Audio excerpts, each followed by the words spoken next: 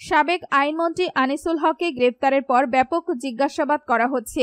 তার কাছ থেকে গুরুত্বপূর্ণ তথ্য পাচ্ছে পুলিশ। জিজ্ঞাসাবাদের সময় হত্যা মামলায় গ্রেপ্তার করা হয়েছে শুনে মুচকি হেসেছেন আনিসুল হক।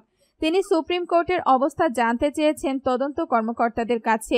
কারা নতুন করে বিচারক হিসেবে নিয়োগ পেলেন সেই বিষয়ে জানতে চান তিনি। সংশ্লিষ্ট সূত্রে এসব তথ্য জানা গেছে।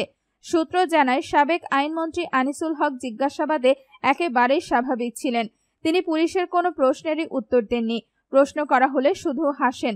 আর হাজার হাজার কোটি টাকা উপার্জন ও বিদেশে পাচারের বিষয়ে সালমান এফ রহমান বলেছেন, তিনি একজন ব্যবসায়ী। ব্যবসার প্রয়োজনে দেশে ও দেশের বাইরে টাকা পয়সা লেনদেন করতে হয়েছে তার।